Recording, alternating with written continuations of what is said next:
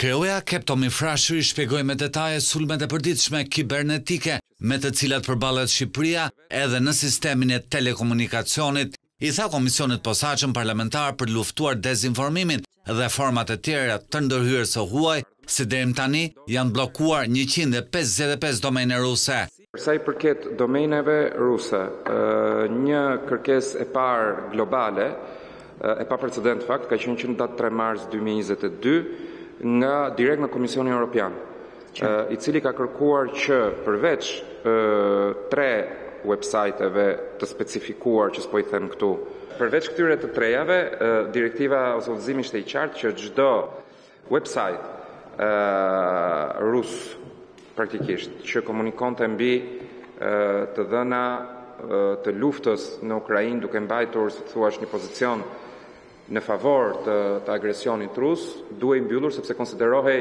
ipso facto mbartës Qartë. dezinformimi. Pra një kërkesë ka qenë nga autoritetet e Bashkimit Europian. Një kërkesë ka qenë nga autoritetet e Bashkimit Europian. Kërkesat e tjera kanë ardhur përfshirë dhe për duhet thënë ai grupi keqbërës Homeland Justice, po. praktikisht kanë ardhur nga organet ligjzbatuese, ka qenë kryesisht prokuroria në disa raste, ka qenë njësia C e Policisë së Shtetit që është krimi kibernetik.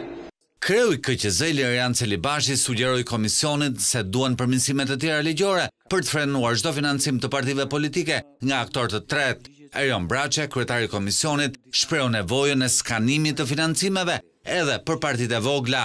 Kur del në televizion edhe thua, edhe me mendjelehtësi, që unë marr 10.000 euro në muaj, donacione, e tjerë me radhë, tani 10.000 euro në muaj, më falni po është fitim. Tani momentin që këto para hyjnë në politikë, po patjetër që e para njëherë krijon pabarazi. me të gjithë subjektet e tjera, qoftë edhe me individët, siç jemi ne, qenie elektorale, që paraqitemi atje para njerëzve, por në krahun tjetër krijojnë edhe këtë edhe këtë idenë që politika po komercializohet në këtë aspekt. Kështu që unë mendoj që këta duhet të jenë subjekt deklarimi. Sipas Erion Braçes, teksa zgjedhjet parlamentare në vendin tonë po afrojnë, Duhet të marrim në konsideratë çfarë ka ndodhur me ndërhyrjet e huaja edhe në vendet e rajonit apo Europë. Kjo problematikë do vijë e do shtohet sa më afër zgjedhjeve të jemi.